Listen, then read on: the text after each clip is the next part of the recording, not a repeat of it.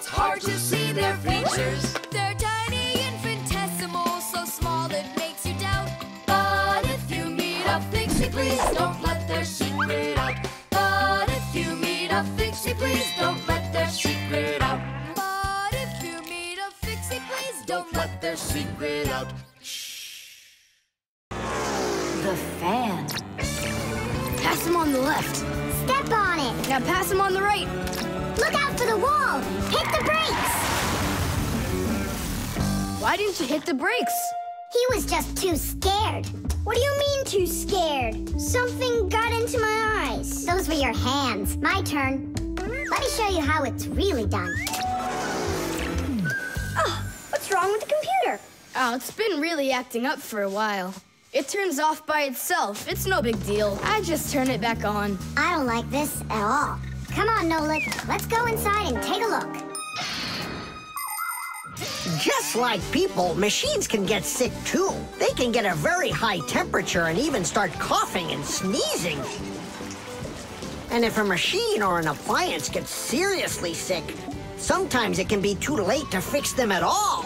So wouldn't it be better if we could keep them from getting sick in the first place? Everybody knows that people who look after their health get sick less often and live longer. And the same goes for machines. Machines break less often and live longer if they're properly taken care of. That's why machines need to be checked from time to time and cleaned and oiled. And that's what's called preventive maintenance. And preventive maintenance is something that always should be kept in mind by humans and by fixies.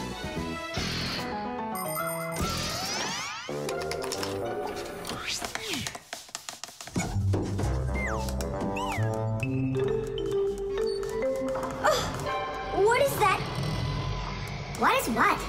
Can you hear that? What are all those sounds? It's probably just mm, a fixie eater that woke up. What? What do you mean fixie eater? Didn't you know that inside of some appliances there live horrible monsters? They love to attack fixies and eat them up. And the smaller the fixies are, the more the fixie eater likes to them. Ha ha! And how come you never told me anything about fixie eaters before? I didn't want you to get scared! All right, scaredy cat. Let's keep going.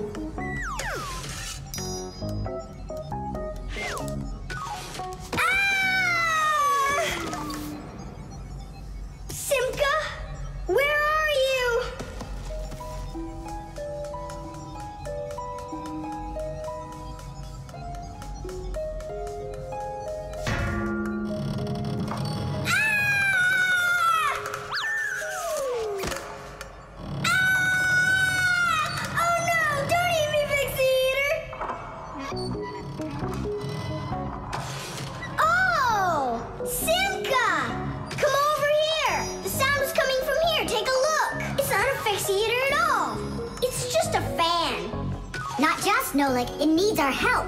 See how sick that fan is? Let's go and get it working. Right now. A computer can only run when all of its parts are working. And even though a fan looks like nothing more than a simple little engine with a propeller, the computer couldn't work without it. It has the very important job of keeping all of those other parts cool when they start heating up. It cools down the inside of a computer by blowing a stream of air. But if the fan gets dirty and starts working poorly, the computer might get overheated and turn off. Or it can simply break. You have to turn off your computer. How come? I'll tell you later.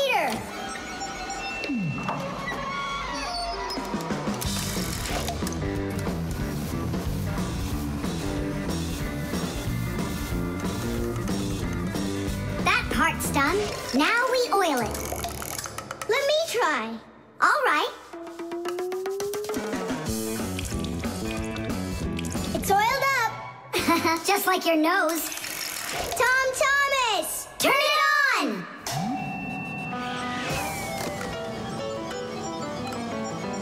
Tidish! And then suddenly, I hear this terrible roar of a fixie eater.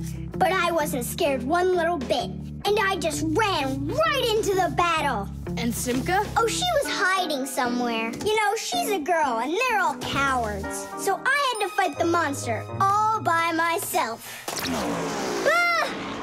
Oh, I guess that was an example of how girls hide like cowards when they're too scared. well, um, yeah.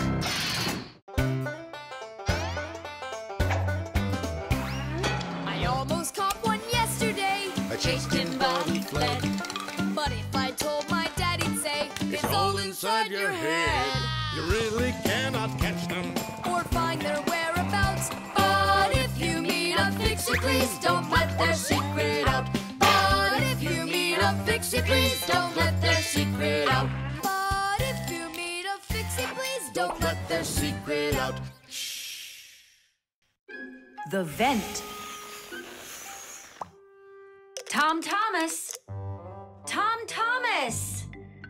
Okay.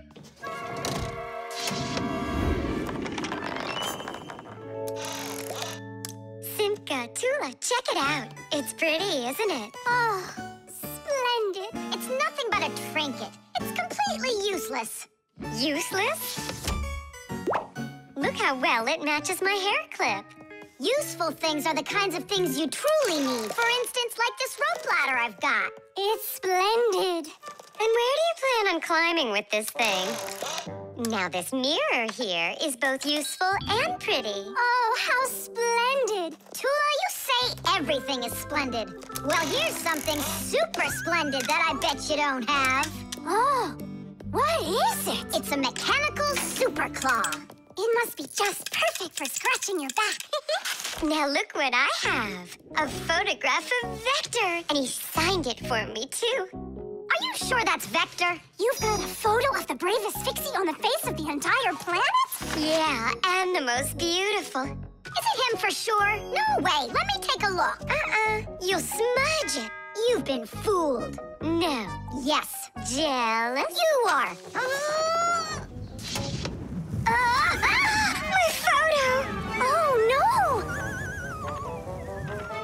What was that? Uh, a draft.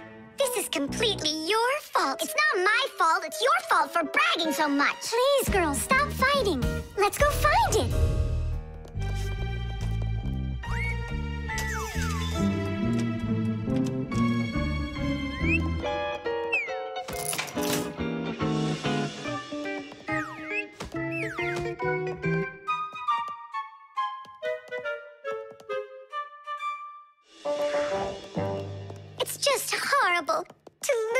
Picture signed by the most famous Fixie ever. It will be horrible when that picture of a Fixie is found by humans. So where could it be? I know how we can find it. Exactly. We'll blow a bubble and watch which way it goes as it floats away. We'll follow it and find your picture. Do you know why you can blow bubbles out of soapy water? At the surface of any liquid, there's an invisible film that is very thin but very strong.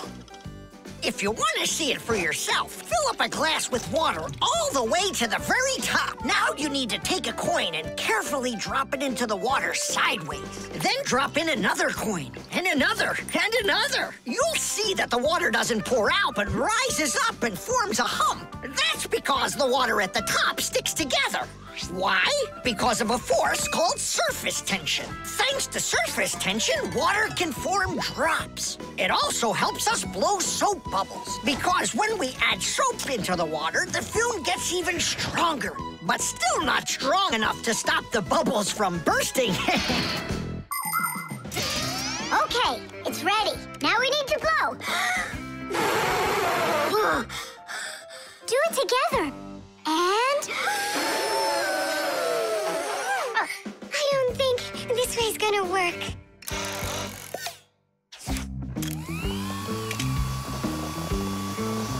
Look, it's flying! Did it!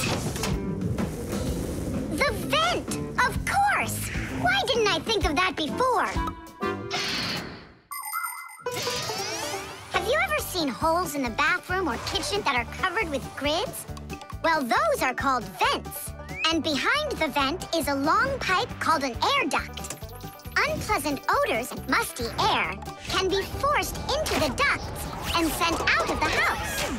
And if you want that old, stale air to leave the house even faster, open a window and let in some of the fresh air from outside.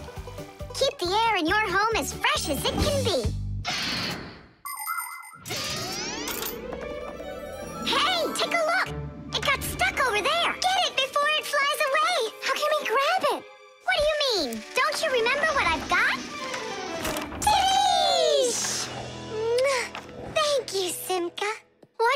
Would we ever have done without your mechanical claw and your fantastic ladder? Then here you go, a present for you. Oh, thanks, it's just great. And I want to give you this. Oh, gee, it's just splendid. Simka, are you here? Huh, what you got there, Simka? A little mirror. It's pretty, don't you think? Oh, you girls. You're all the same.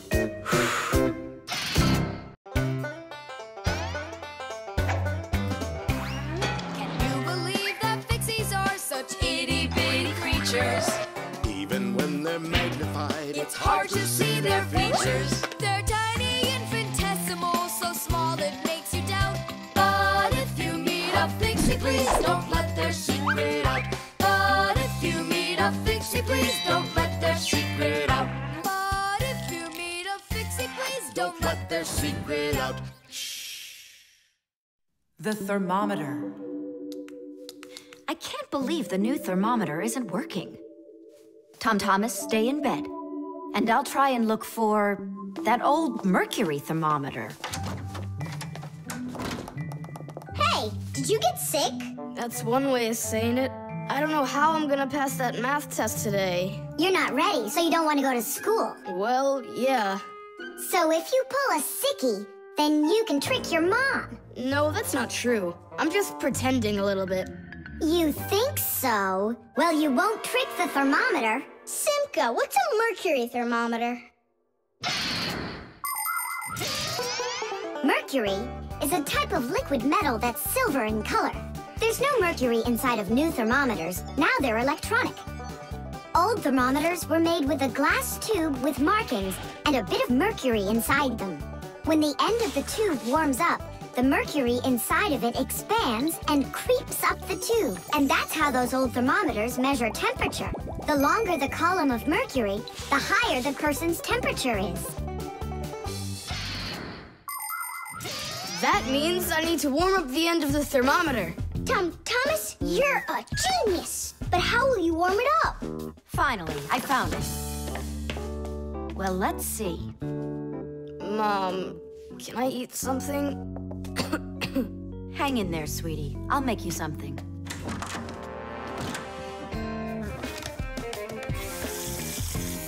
Ooh, that is hot.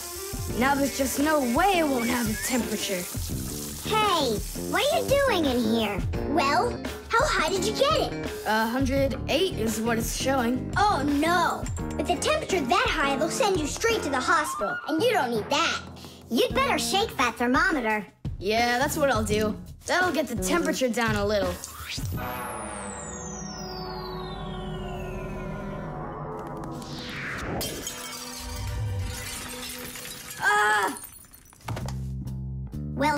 Much for that. Cheaters never prosper.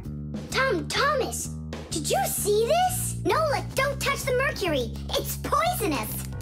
Stop it right now. And you, Tom Thomas, you don't touch that mercury either. It's dangerous. Then how can we throw it out? Call your mom and she can help you. I can't. How could I call her? Then she'd find out that I wanted to trick her. Maybe it's better to tell the truth. I can't. I can't do it. All right then, it looks like there's no other choice. Nolik, call Papus and Masya. I'll get him. And you go back to your room and wait.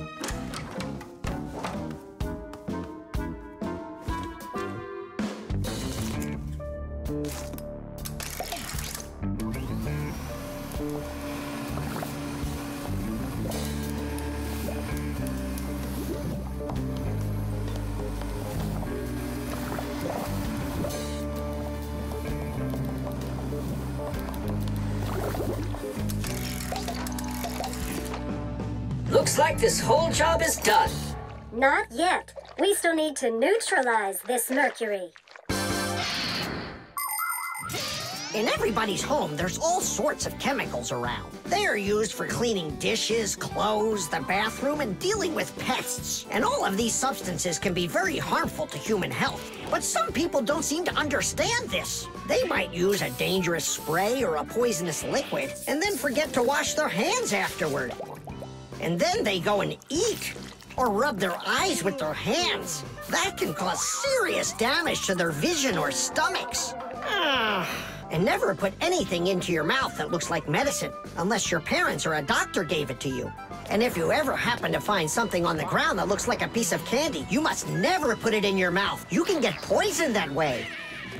Oh, humans. If they'd only remember this simple advice, they'd stay safer.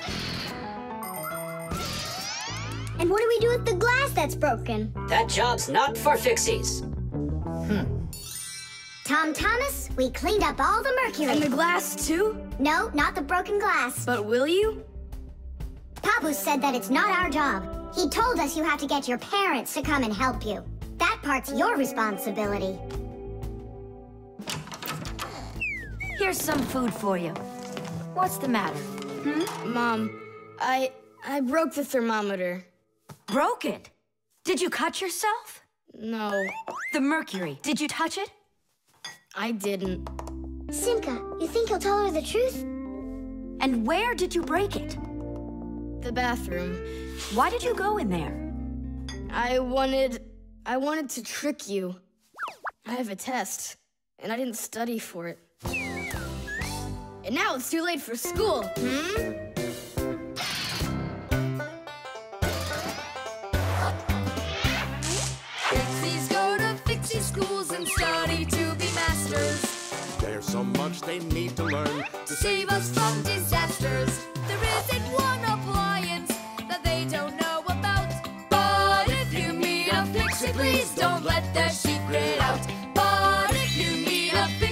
Please don't let their secret out. But if you meet a fixie, please don't let their secret out. The Pack-o-mat. Uh, Simka, can I have the Pack-o-mat? I'd like to practice with it a little before the exam. Take it!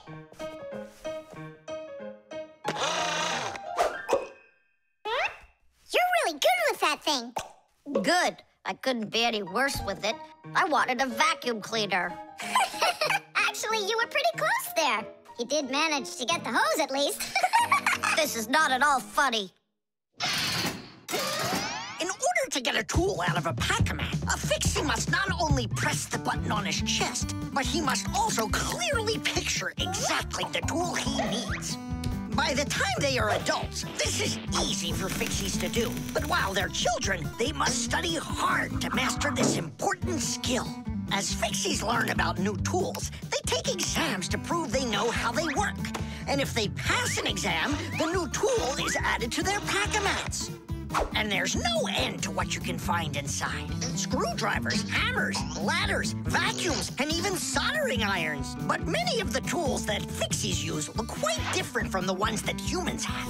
And the reason for this is very simple. It's because fixies have to fix appliances that are much bigger than they are. Uh, I just wish I knew which tool was gonna be on that exam. I got it! You just stay right here.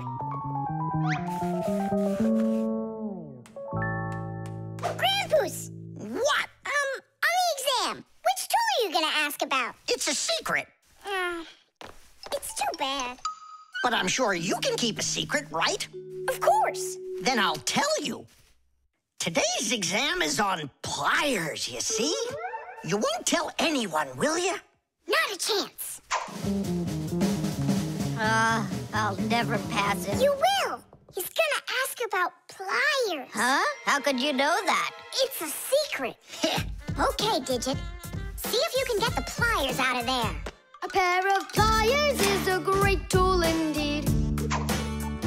To grab and turn things, it's the tool that you need. Just be careful how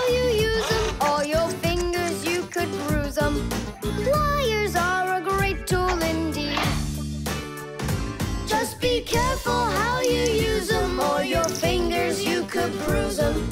Pliers are a great tool indeed. Good going. You got it. Thanks a lot, Nolik. It's not really me you should be thanking. Grandpus, thanks a lot. For what? The secret. What secret? About the pliers. Oh, that! You know, I picked a new topic. Um, I decided that a hammer will be the tool. A hammer? Only it's a secret. I remember. the topic got changed. It's a hammer. You sure about that? Totally. All right. I'll try to do it. A hammer is a great tool indeed.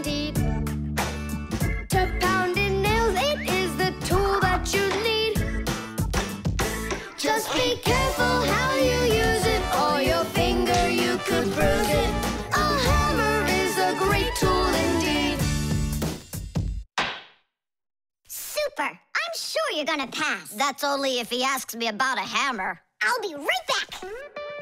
Grandpus, it's a hammer for sure. Nah. A hammer would be way too easy for those kids. So now it is a drill. A drill? But only. It's a secret.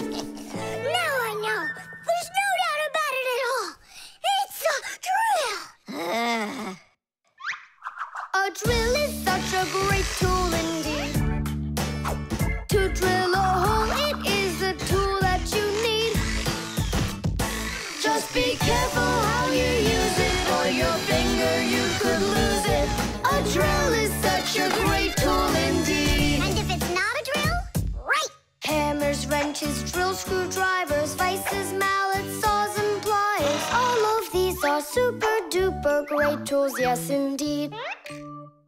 That's all. That's enough of this. I'll just go and take the exam. Yeah.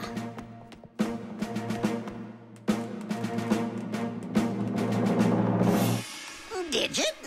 Come on in. Um, Professor, well, what do you want to ask me on today's exam? Nothing. You already passed. What? You mean you're not going to ask me anything at all? No need. You're excellent at getting tools out of a pack-o-mat. But how could you know that? That's a secret. And we fixies sure know how to keep secrets.